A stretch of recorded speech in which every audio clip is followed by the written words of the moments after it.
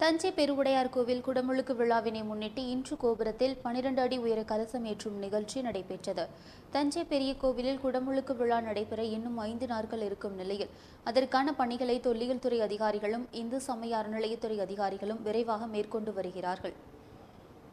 இந்நிலையில் கடந்த ஐந்தாம் தேதி தங்கமுலாம் பூசுவதற்காகவும் மெருகேற்றுவதற்காகவும் தஞ்சை பெருவுடையார் கோவிலின் பெரிய கும்பகலசம் இறக்கப்பட்டு அதற்கான பணிகள் கிட்டத்தட்ட இருபது நாட்களுக்கு மேலாக நடந்தது.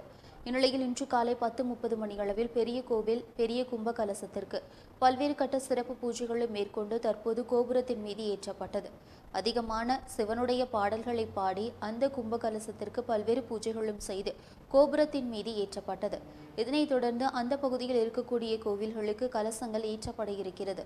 கும்பகலசம் வைப்பதற்காக ஐநூறுக்கும் மேற்பட்ட கிலோ அளவில் வரகு நவதானியங்கள் நிரப்பப்பட்டு தற்போது பெரிய கோவில் பெரிய கும்பகலசத்தை ஏற்ற ஏற்பாடுகள் செய்யப்பட்டன. தஞ்சை பெருவுடையார் கோவில் குடமுழுக்கு விழாவினை முன்னிட்டு மூன்றாயிரத்திற்கும் மேற்பட்ட காவல்துறையினர் பாதுகாப்பு பணியில் ஈடுபடுத்தப்பட உள்ளதாக மாவட்ட காவல்துறை அதிகாரிகள் தெரிவித்தனர்.